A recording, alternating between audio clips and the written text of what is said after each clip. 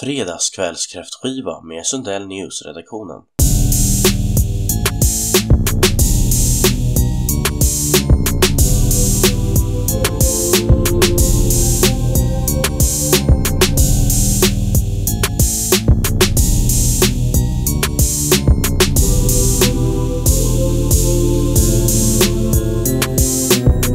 Tack för att du tittat på Sundell News. Vi uppskattar ditt stöd. Prenumerera på kanalen, gilla videon, dela videon. Så hoppas vi på Sundell News att vi ses snart igen. Tack!